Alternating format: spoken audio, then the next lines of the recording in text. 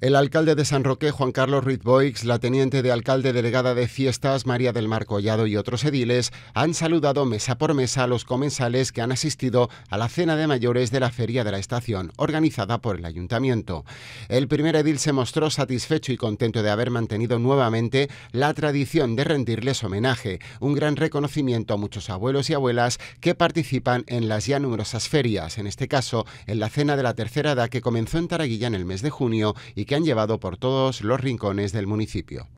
En todos los rincones del municipio hemos tenido esta cena homenaje, en todas las barriadas, en todos los pueblos, en la ciudad de San Roque, con récord de más de 450 abuelos y podría decir que hemos superado las más de 2.000 personas en la suma de mayores que han ido a cualquiera de las 10 cenas que hemos realizado en estas ocho ferias, pero también hemos sumado cenas en Guadarranque y por tanto creo que es importante el que sigamos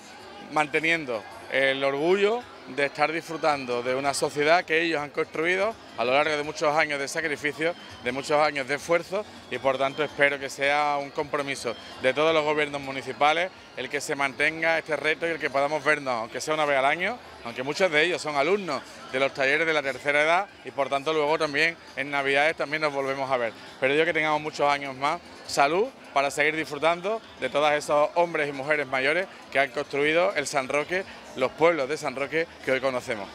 A continuación, el alcalde Juan Carlos Ruiz Boix, la teniente de alcalde de fiestas María del Mar Collado y el teniente de alcalde de la zona de estación Taraguilla Miraflores Juan Serván participaron en la imposición de bandas y entrega de placas a los recién elegidos abuelos del año. La figura del abuelo recayó en Pepe Masantine, mientras que Carmen Carrillo fue nombrada abuela del año. Tras la cena de mayores, a las 11 de la noche se procedió a la apertura de la caseta municipal con la actuación de la orquesta Cat Forever, a la que ha seguido música de DJ y la actuación del cantante Ale Bellido.